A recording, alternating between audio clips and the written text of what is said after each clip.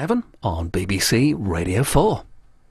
An arrest is required, Patson. If it can happen in that marriage, it can happen anywhere. He's crossed a line now. There are many ways in which a man may ill treat his wife. Do you think Adelaide perhaps has a right to feel neglected? I love you, Susan. Lark Rise to Candleford, tonight at 8 on BBC One.